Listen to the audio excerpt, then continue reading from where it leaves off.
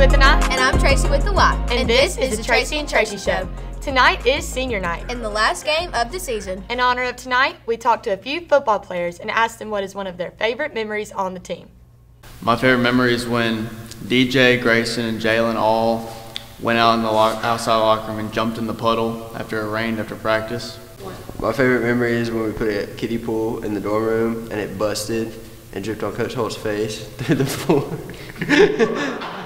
Jared's shoe was floating across like a sailboat. Uh, my favorite football memory is whenever half the team wore do rags at practice last year. All right, my favorite my favorite memory was from when we was at football camp, and we got like me and Jalen got like water water guns, little small guns. We put like soy sauce, ranch, juice, hot sauce, and stuff in it, and started spraying people in their beds. And then we had people going to practice smelling stinky.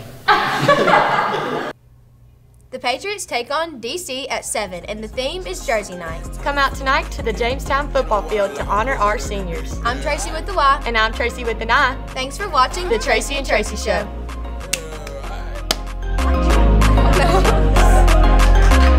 Can we keep that in?